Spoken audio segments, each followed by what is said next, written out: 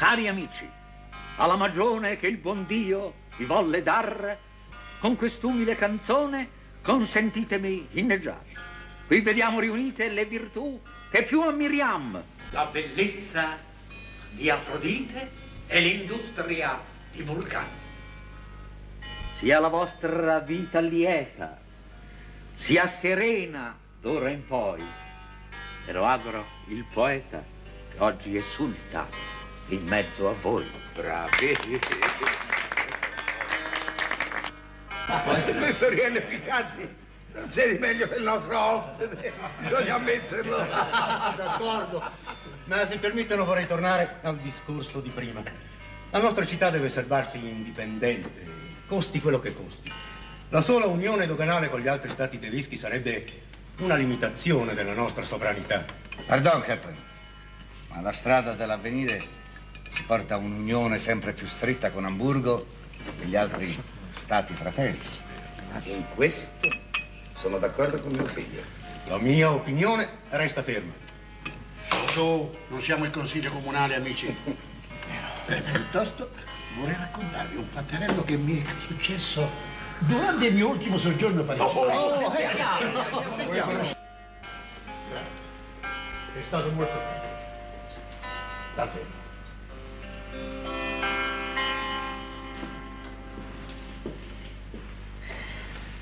E anche questa fausta giornata si è conclusa. Babbo.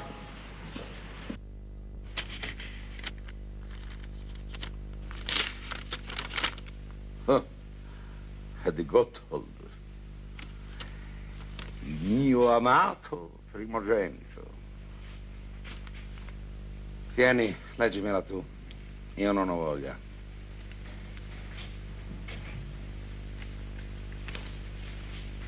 Padre mio, neanche alla mia seconda lettera ho avuto risposta.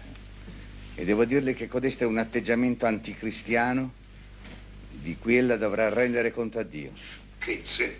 Quando seguendo l'impulso del mio cuore ho sposato la donna che mi rende felice e ho offeso, aprendo un negozio, la sua smisurata superbia, lei ha ridotto i miei diritti al nostro patrimonio di famiglia a una dote di 100.000 marchi e in caso di sua morte ad altri 100.000 marchi di eredità. E anche troppo. Ma ora venga a sapere che lei ha acquistato un palazzo per altri 100.000 marchi. Ebbene, conscio dei miei diritti di fronte a Dio, pretendo un terzo della somma da lei spesa per codesta casa. E mi riservo... A sé, a sé, basta, basta. Non voglio sentire altro. Bella, bella questa pia avidità di denaro.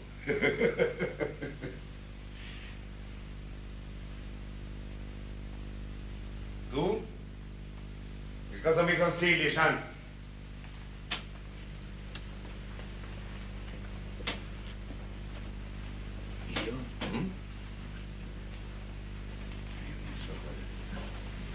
rispondere, padre mio. La mia situazione è difficile come fratellastro. Sciocchezze. Devi rendere conto a me, non a Gotthold, dei tuoi consigli. Certo che come figlio e come cristiano io vorrei consigliarvi di far pace, di accontentare. Cristianesimi, idealismi. Sai, Jean, e non è questo che voglio sapere da te. Siamo... siamo uomini di affari o siamo dei poeti, eh? Bene. Come socio della ditta io devo dirvi che cedere è pericoloso. Non tanto adesso per quei 33.333 marchi che l'Otto pretende quanto per il fatto che si crea un precedente anche per il giorno.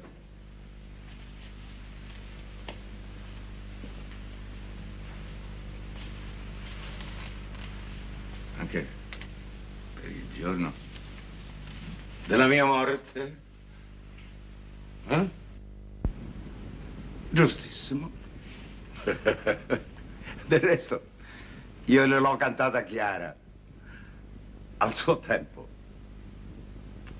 Gotthold, figlio mio, gli ho detto, tu ti sposi Mademoiselle Stuing e apri il tuo negozio. Bene? Io non faccio scandali. Ma fra noi è finita. Centomila marchi adesso. Centomila alla mia morte. E ah sì. Lui non ha protestato. E dunque adesso stia zitto e non faccia altre scene.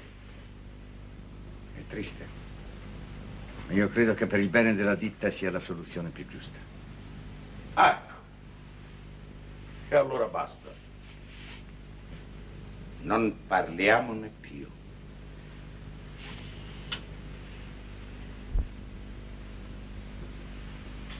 Buonanotte, Jean. E non prendertela.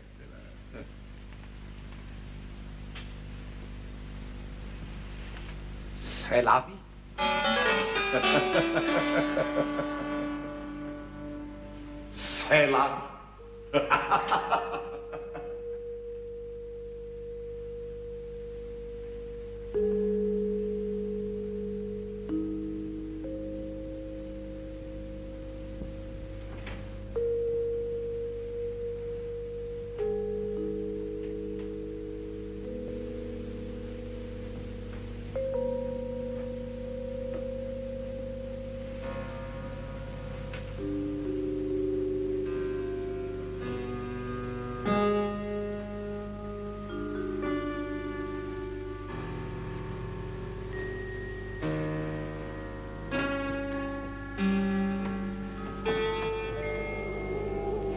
Oggi, 14 aprile 1838, alle 6 del mattino, la mia cara consorte Elisabeth Bundenbrock, nata a Kreuger, ha dato felicemente alla luce una bambina che riceverà nel santo battesimo il nome di Clara.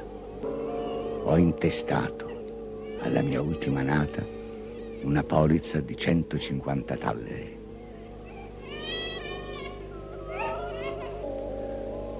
Conducila tu, oh Signore, sulle tue vie.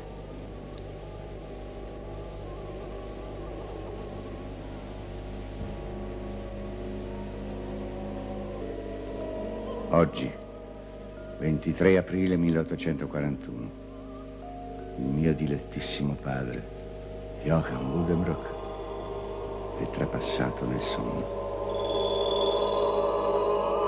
Possa egli riposare in te, o oh Signore.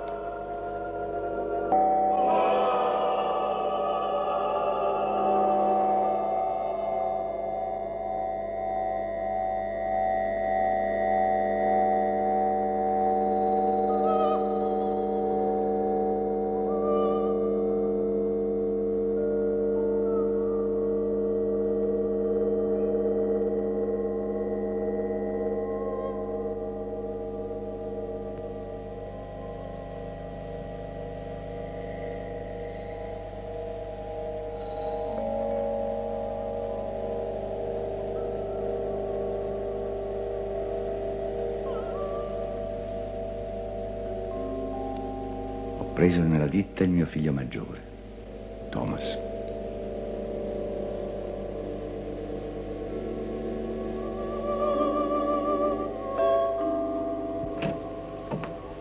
Tom promette bene, sai. Scusami, ma sono stato fino adesso a parlare con lui della vita. No, sì, no, no, no. Sì, mi sono accorta che gli piace andare in ufficio. Sì, conosce già tutti gli operai dei vari magazzini. Sa a memoria le tariffe delle granaglie, i dazi. Sa il nome e la stazza di ogni nave. È un ragazzo quadrato. Fosse così anche Christian. Eh, Cristian è una testa matta, ma ha i suoi meriti anche lui, come intelligenza. L'intelligenza di una testa matta può essere rovinosa. Quel ragazzo mi preoccupa, Betsy.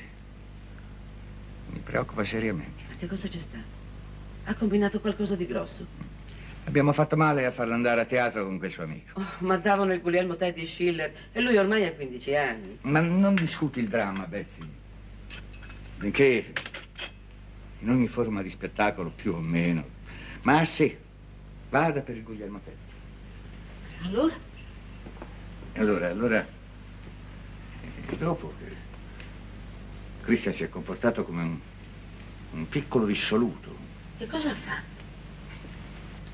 durante l'intervallo è corso dal fioraio di rimpetto al teatro e spendendo un marco e otto scellini ha acquistato un mazzo di rose che poi ha avuto la sfrontatezza di consegnare in camerino a una giovane attrice. Tra parentesi, una donna che ha una notoria relazione con un damerino della città, un, un suitier. Dimmi tu, Betsy. Dimmi tu. No, no, scusami, cioè, no, indubbiamente è grave. Oh sì, è, è molto grave. Si manifesta una brutta tendenza, Betsy. Te lo dico io. Una brutta tendenza. Un po' più di severità. E molta fiducia in Dio.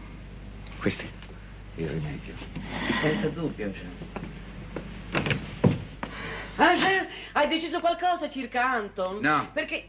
Ah, ma io gli ho quasi dato la mia promessa che l'avremmo assunto. No, Betsy, mi dispiace dirti di no, ma non è il momento per noi di prendere un Oh, domestico. ma Gianna, io ma con una casa grande come la nostra non può, ma non può assolutamente badare a ogni cosa con due cameriere soltanto. Io non capisco nemmeno il motivo. Dalla morte del babbo non diamo feste, riserviamo a pochissima gente. No, beh, di visite ne riceviamo non poche. E poi c'è il disordine che fanno i bambini. I salari sono così modesti. Ma si accumulano pezzi. Si accumulano.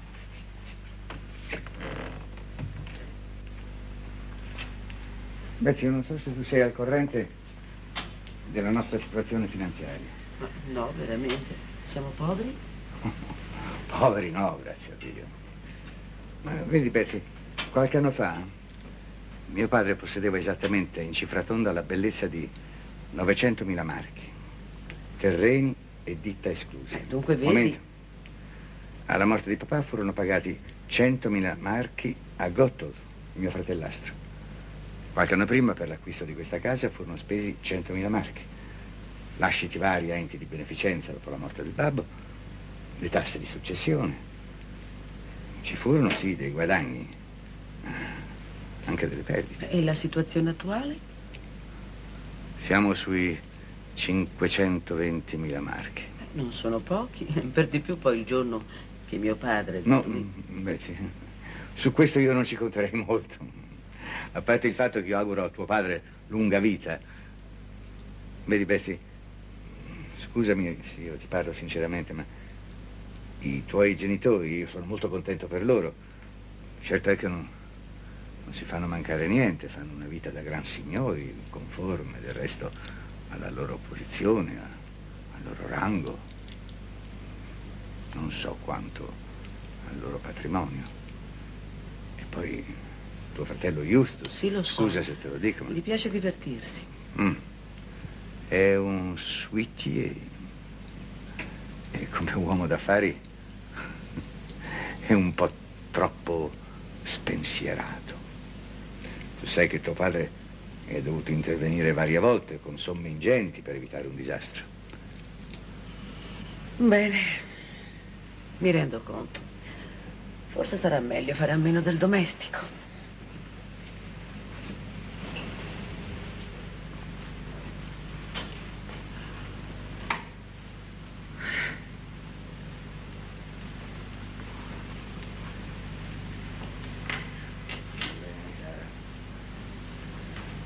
Chiamerò Anton e vedremo di metterci d'accordo.